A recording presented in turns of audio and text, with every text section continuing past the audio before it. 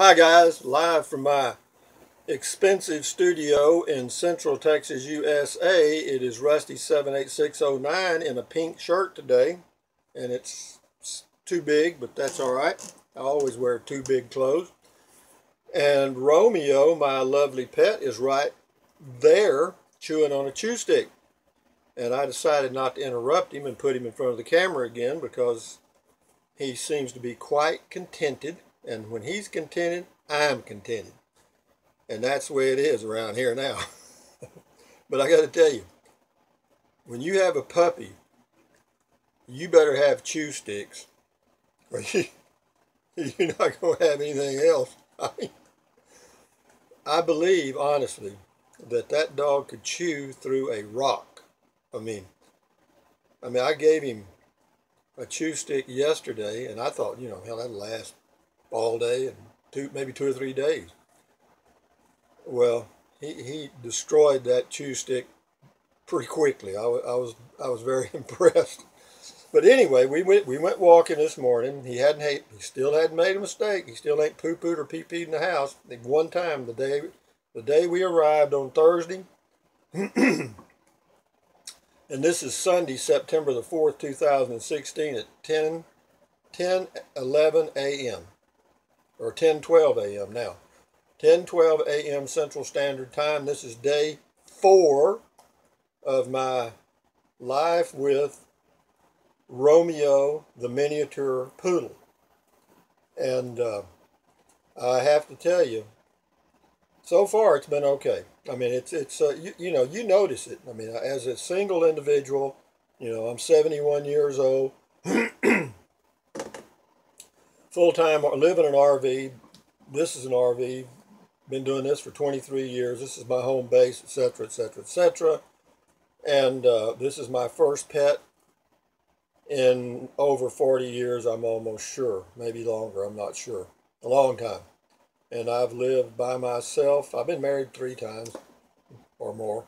And uh, been living alone or by myself for, shit, uh, 25 years, let me think.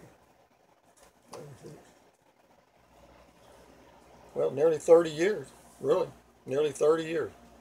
And, uh, you know, it's, it's amazing that I'm able to adapt or we're able to adapt to each other.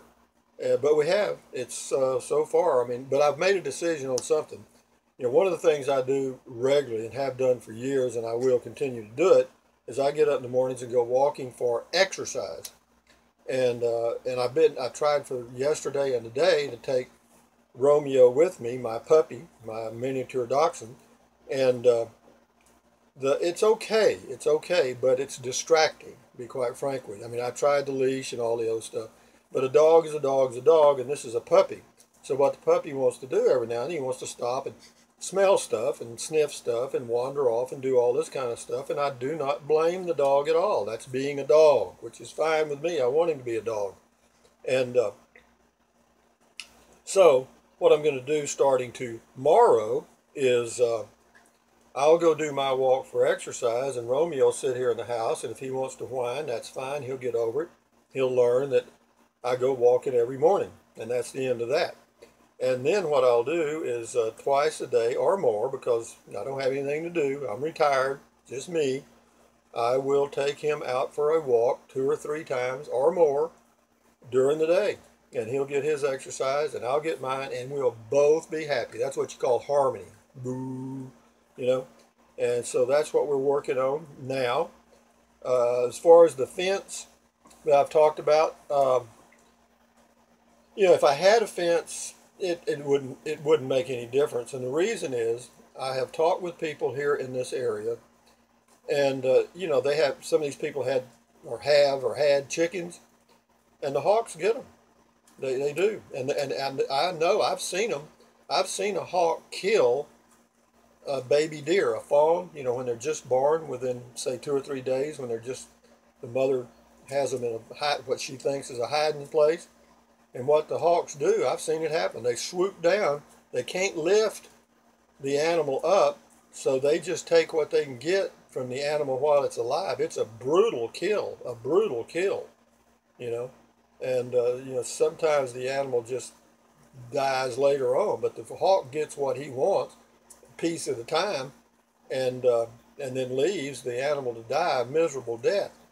But uh, and could he do that to this dog right here? Sure, easy, easy. If I had that dog outside in a fenced-in area, he that dog would never know what hit him, because the a hawk and an eagle, their eyes, I've been told, I read this, they say they are so good that they can read newsprint at a mile. In other words, they could actually read a newspaper from a mile away, supposedly. Is that true or not? I don't know, but it I've seen them so far up in the sky that you can barely see the hawk with your human eye, and I've seen them swoop down and catch a, a mouse on the ground this big. I've seen them do it with my own eyes.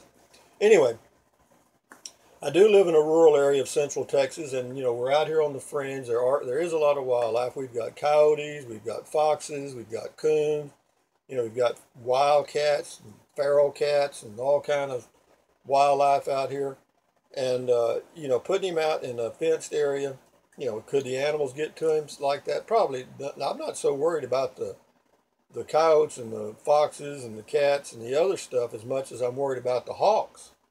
I really am. So we're going to stop that right now because uh, I'm only gone from the house to either go grocery shopping or four times a month.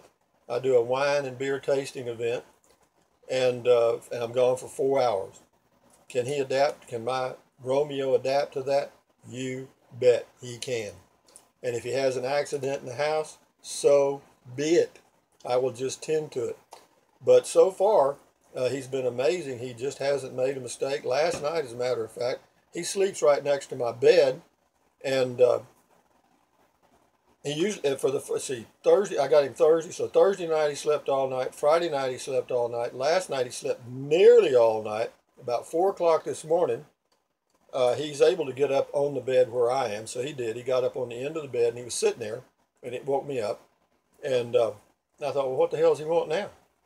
And uh, anyway, he was just sitting there, and then he walked around. And so I thought, well, hell, maybe he wants to go outside. So anyway, I picked him up and got a flashlight. We walked outside. I set him down, and uh, sure enough, he pee peed and walked around a little bit, and then poo pooed. And I thought, well, good for you, boy. Pat, pat, pat. You get a 10 for that. So anyway, I brought him back in. He fooled him out a few minutes and chewed on a chew stick, and then he climbed back up and went to bed and slept normally, and I did too, and that was the end of that episode. So, for those of you thinking about getting a pet, I'm just giving you the straight scoop so that you'll know uh, what to expect. Now, this again, this is a miniature poodle. I think they're probably the exception to the rule. As far as doggy odor, uh, you know, they're not 100% without doggy odor, but I mean, uh, it's much, much, much less than some other breeds. Uh, and here I wormed him this morning for the for the oh I don't know what it is. It's a generic wormer, I guess you'd call it, that gets you know hookworms. It doesn't do heartworms. You got to do you got to go to a vet for that. But it does hookworms and trichina and some other general worms and stuff. And and anyway, she gave me a the breeder gave me a a bottle of stuff that she mixes up for her, the one she raises, and I really don't even know the name of it, but uh, what it's just a liquid, a thick liquid, and uh, what you do is is you take this syringe, and it's uh, by the pound, and for a, a six or excuse me five pound dog, it's one and a quarter. There's a little one two three four one two three on the side, and you give him one and a quarter like right in here, like just that much. And and fortunately it has a good taste. The dogs like it so you don't have to fight them to give them this stuff. You just stick it in their mouth and go and guess what? He's wormed. And you do this you do this uh, three times in a row you do it you do it on like like I'll do it today I'll do it Sunday Monday and Tuesday this time and then two times after that because she uh, she she was a, we were a little late with this one so she said go ahead and do it for three days in a row it won't hurt them so that's good so I'll do Monday, or excuse me, Sunday, Monday, and Tuesday this time, and then next month I'll just do two days. And then we do you do that for a year, and then you can back off on this particular type of wormer. And uh, they have a heartwormer that you can get that does fleas and all kind of different worms and stuff, and, and you pay the high dollar. It's it's like ninety five dollars for six months, and uh, my son tells me that what you can do is reduce the size of that dosage and use that for a longer period. He's coming this morning to give me my my, my oldest son's got two dogs that he's had for I don't know eight or ten years.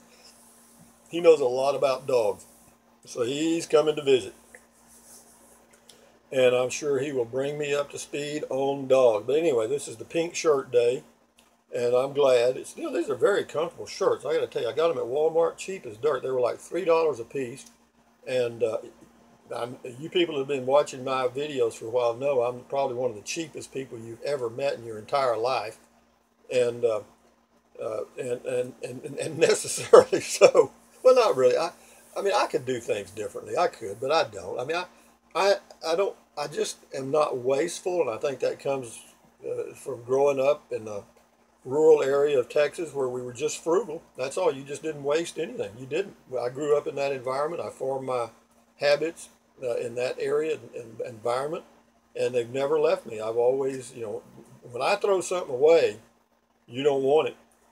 And if I ever have a garage sale, don't even bother coming by because everything I've got is worn to the bone, baby.